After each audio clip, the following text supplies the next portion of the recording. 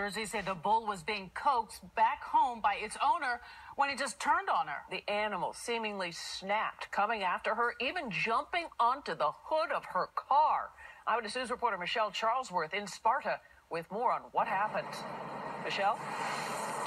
Well, this is a rural this is a rural area, not unheard of to see livestock in the road here, but this was definitely something different as you were talking about. At one point this young bull was up on the hood of this woman's SUV, that was the owner, and she was trying to coax it back to her farm when literally it started throwing her around.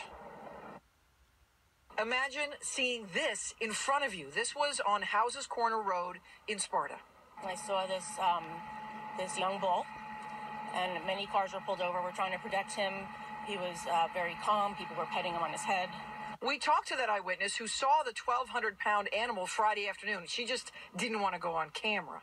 I had cereal in my car, believe it or not, and I fed him out, out of the passenger side window. What kind of cereal? Rice Krispies. There you go. All right. That's important. All right. and I fed him, and then finally the police came and the owner came. Around the time she saw the bull, police started getting calls. Caller reports a cow in the middle of the road that won't move. The young bull became aggressive as the woman owner, Wendy McDermott, who was the one in the SUV, offered it food and tried to coax it down her driveway back home. That's when police say it became even more aggressive. What's the ambulance for?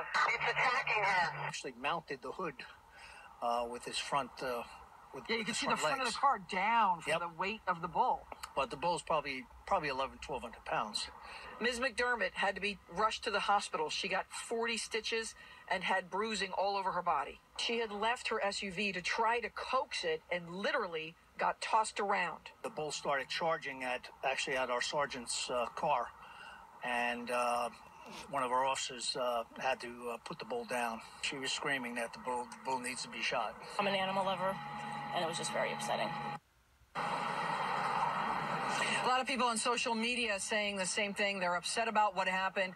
Not sure exactly what happened to make this young bull become so aggressive. But Ms. McDermott, the woman who uh, owned the animal, said that he uh, had told police that he had become violent or at least aggressive with her husband a week prior. A raging bull in Sparta, New Jersey attacks. Tell me pretty lies, look me in the face. Tell me